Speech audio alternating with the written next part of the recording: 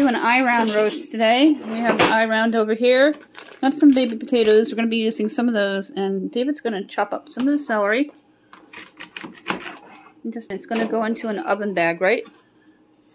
It will be going right into the oven bag, correct. We have the bag and season. Once again, by McCormick's. It is one of our favorite brands.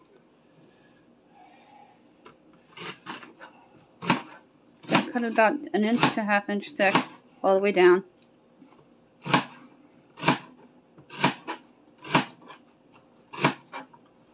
And we're going to add the baby potatoes.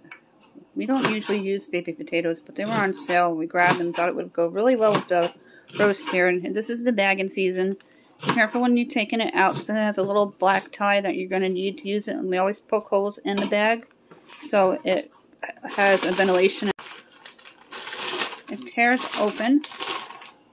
And then we're going to rinse a few of the potatoes and get the bag ready and prep the meat. David is starting to get the bag ready now that the celery's chopped. And he's running the water for a minute just so it runs. I'm going to fill up the measuring cup. One cup of water? Quarter cup of water. Quarter? I actually put a third in. He does a third a cup of water. Then he'll put the spices in. And then we add our own black pepper and garlic too, just a tad. Nope. No? Okay. I like to add a little bit of garlic to things. I'll garlic. I'll, I will garlic that. He's going to add about a teaspoon of garlic. He's going to drop the celery into the bag.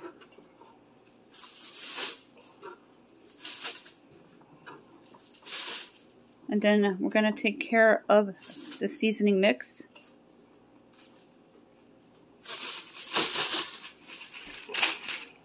Just dump it right into the measuring cup. I, how many potatoes do you think? Maybe a couple handfuls. And they're very small potatoes, so they're going to cook well with the eye round. And they'll season nicely, too. I think that's enough, or should we do another little handful? I think another handful would be perfect. Another handful? I like to dip my meat in the au jus. And I get to use the gravy boat today, so I'm excited about that. Got a gravy boat from Elizabeth Reed, one of the viewers here for my channel. Pour the packet right into the water, and then he's going to stir it up, usually with his Hercules knife. Till all the powder is mixed in well with the water. And we're going to dump it into the bag and dump in about a teaspoon of garlic and rinse the meat. We wash our meat off and we just rinse it lightly.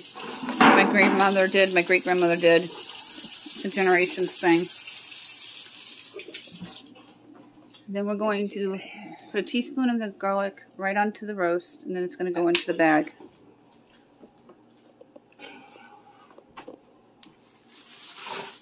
Two pound roast.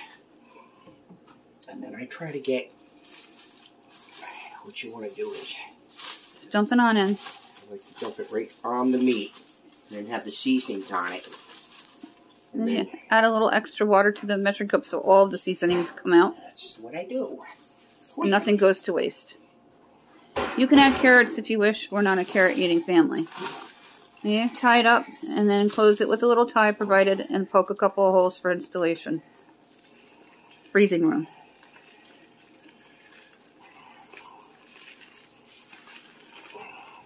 This is going to go into a 400 degree preheated oven for how long? 350 degrees for an hour. For 350 degrees for about an hour.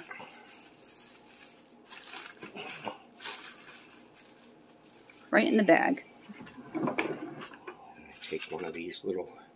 I use a fork. He uses push pins. One, two, three.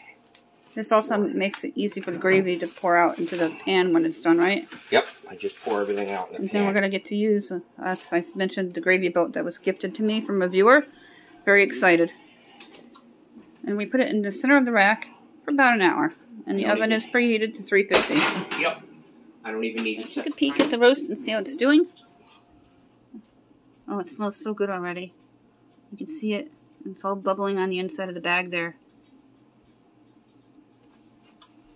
The gravy boat out and get it ready for the counter. This one that I got from our viewer. It is so pretty. I really like it a lot. And we're going to use it for Easter dinner tomorrow too. For our special dinners on the weekends and holidays.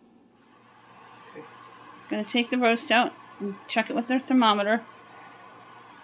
We always check our meats with the thermometer. Make sure it's safe.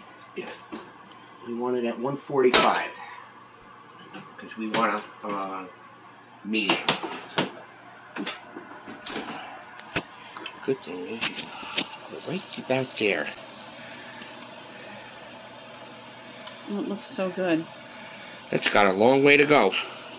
It's only at 90 degrees. Nicely here. And he's going to use the swatted spoon to scoop out the potatoes.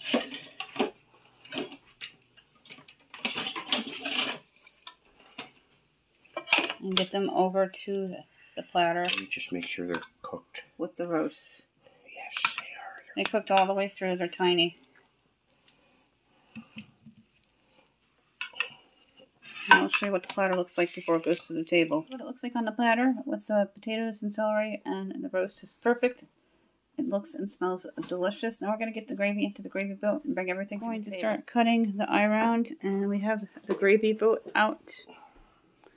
And the green beans.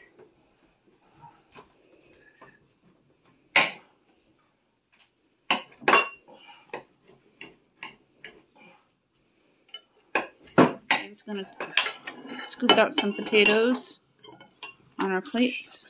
And then I'm going to get some green beans on and some au jus. Like little golf balls. Or super balls. I can't wait to try these. Some green beans.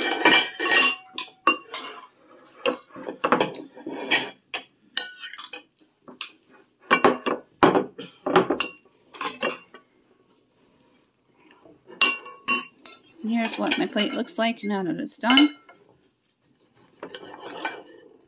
Now it's for the gravy. Another piece of meat. Cut it good enough. with my new gravy boat from our viewer Elizabeth.